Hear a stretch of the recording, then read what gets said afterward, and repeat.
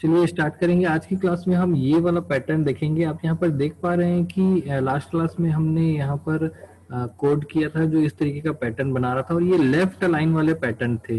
आपको मैं एक बार फिर से एक रूल बता देता हूँ कि कोई भी ऐसा पैटर्न जो लेफ़्ट लाइन है, उसमें दो फॉर लूप लगते हैं और कोई भी ऐसा पैटर्न जो लेफ़्ट अलाइन नहीं है, यानी कि राइट अलाइन है या सेंटर अलाइन है, जैसे आप देख रहे हैं कि ये राइट अलाइनमेंट में है। या सेंटर अलाइनमेंट में होता है, कोई भी पैटर्न तो उसमें तीन लूप लगते हैं। तो बिल्कुल सिंपल सा कंसेप्ट है, एकदम याद रखने वाली बात है। सबसे पहले तो आप ये देखिए कि लेफ़्ट अलाइनमेंट में है कि नहीं है। अगर लेफ़्ट अलाइन है तो दो लूप लगेंगे राइट अलाइनमेंट है या सेंटर अलाइनमेंट है तो अलाइन है तो इसमें तीन लूप लगेंगे। तो आप कोई भी ऐसा पैटर्न देख लीजिए जो लेफ़्ट अलाइन नहीं है। तो ये आप देख रहे हैं कि लेफ़्ट अलाइन नहीं है। निश्चित सी बात है कि यहाँ पर तीन लूप लगेंगे और ये दो लूप का कोड यहाँ पर है।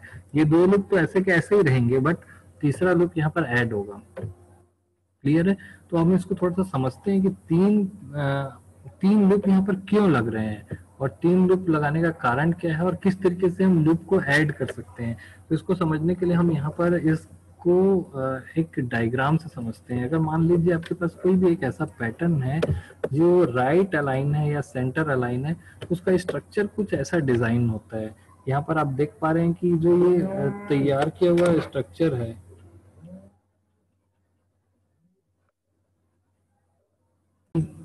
यहाँ पर ये जो पैटर्न दिख रहा है, इसको आप कुछ इस तरीके से इमेजिन करना है आपको। अगर वो उस लॉजिक को समझना है तो आप ये समझिए कि एक बॉक्स है।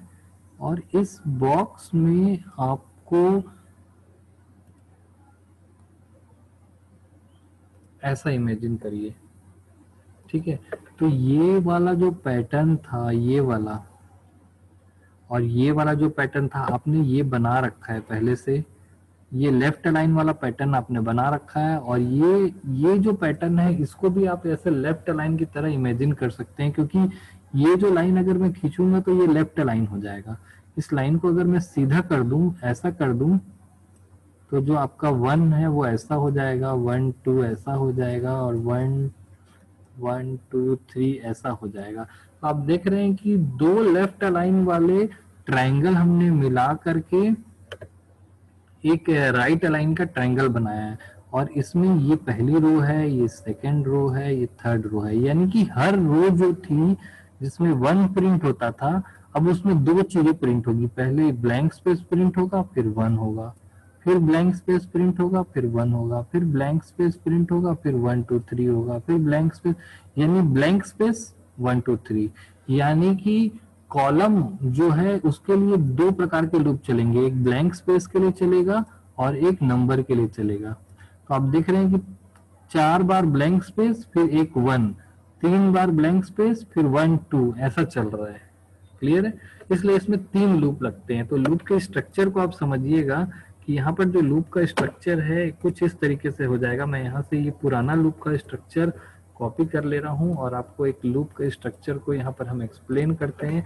इसलिए मैंने यहाँ पर ये दो कॉलम के लिए दो चीज़ें यहाँ पर बताई थी। तो जो हमारा थम रूल है, वो ये है कि अगर आपके पास राइट अलाइन या सेंटर अलाइन वाले पैटर्न है तो तीन लूप लगेंगे। तीसरा लूप क्या होगा, जो रो का लूप है, वो तो कॉमन है। रो तो यहाँ पर कॉमन चल रही है, लेकिन जो कॉलम्स हैं, वो दो टाइप के हैं। एक ब्लैंक स्पेस है और एक नंबर है। ब्लैंक स्पेस है और नंबर है।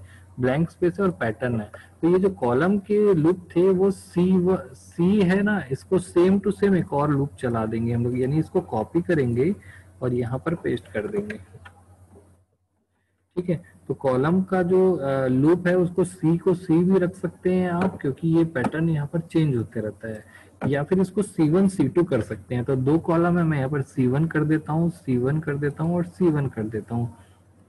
यहाँ पर मैं कर देता हूँ सी टू सी टू और सी टू तो दो कॉलम यहाँ पर बनाया मैंने। ये C1 है और ये C2 है और उसके बाद लाइन चेंज हो रही है। तो हमेशा आपको याद रखना है कि जो C1 यानी कि पहला वाला जो लूप होगा वो ब्लैंक स्पेस के लिए होगा।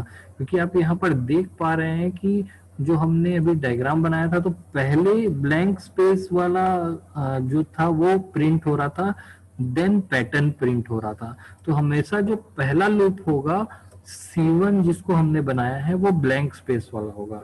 क्लियर है? तो हम यहाँ पर अपने कोड को देखते हैं। तो हमने यहाँ पर तीन लूप बनाया। ये जो करेगा वो ब्लैंक स्पेस प्रिंट करेगा और ये हमारा पैटर्न प्रिंट करेगा। तो पैटर्न को ऐसे ही रहने देते हैं। यहाँ पर हम ब्लैंक स्पेस कर देंगे। याद रखना है आपको ब्लैंक स्पेस में ऐसा एक ब्लैंक स्पेस इनके बीच में डिफरेंस होना चाहिए। तभी वो ब्लैंक स्पेस प्रिंट करेगा। क्लियर है?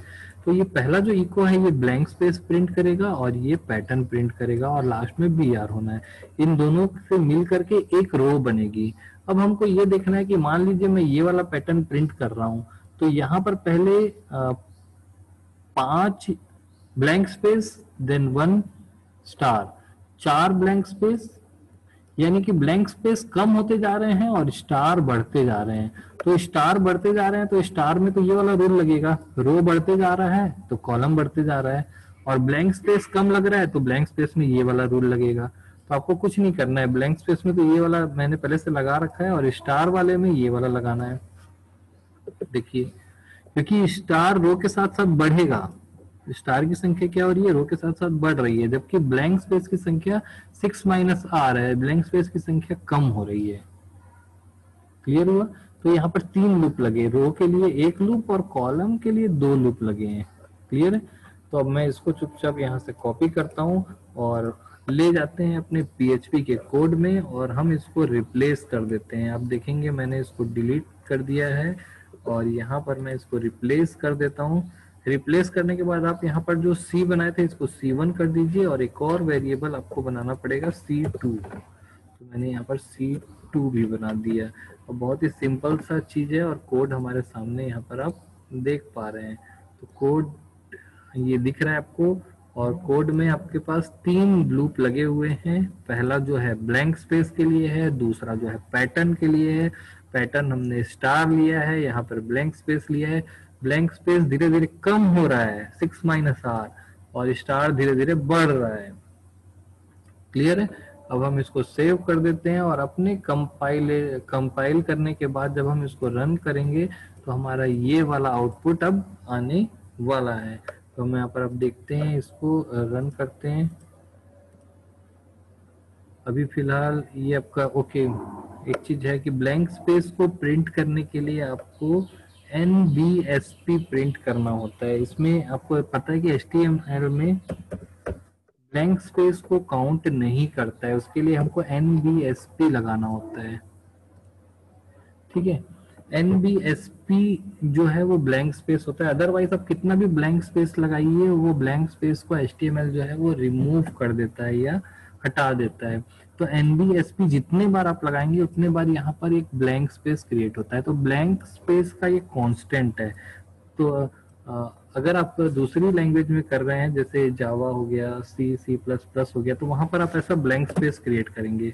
लेकिन कोई भी वेब टेक्नोलॉजी पे काम कर रहे हैं, जैसे जेएसपी एएसपी या उस टाइप की जावा स्क्रिप्ट वेबी स्क्रिप्ट तो वहाँ पर स्पेस देने के लिए आपको एनबीएसपी का यूज़ करना पड़ेगा। क्लियर है। अब यहाँ पर आप देख पा रहे हैं कि एनबीएसपी पूरी तरीके से स्पेसिंग नहीं दे रहा है फॉन्ट पूरी तरीके से नहीं ले रहा है तो आप दो बार एनबीएसपी लगा दीजिए ताकि डबल स्पेसिंग आपको मिले। तो दो दो की स्पेसिंग है क्योंकि इसकी फॉन्ट साइज़ बढ़ गई है बट स्पेस की फॉन्ट साइज़ नहीं बढ़ी है इसलिए वो स्पेस पूरी तरीके से नहीं दे पा रहा था। तो आप, आप ऐसा लगाएँगे तो ये राइट अलाइनमेंट हो जाएगा। क्लियर तो एनबीएसपी का काम होता है। एनबीएसपी के ऊपर भी हम एक थोड़ा सा क्लास ले लेंगे एक दिन कि एनबीएसपी की वर्किंग क्या होती है। तो इस तरीके से हमने राइट right अलाइनमेंट के लिए एक यहाँ पर ये एक इनविजिबल ट्रायंगल जो ब्लैंक स्पेस का दिख रहा है, वो बना हुआ है।